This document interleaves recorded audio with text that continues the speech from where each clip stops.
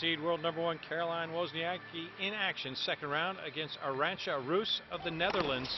Wozniacki having won New Haven for the fourth straight time leading into the U.S. Open has been on form of late and she looked good at the net winning six of seven trips forward on this day. Taking the opening set 6-2 she really turned on the juice.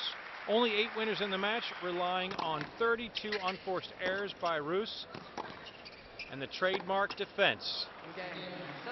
Just like that, it's over. 6-2, 6 love. Wozniacki moves through to the third round to take on Vania King.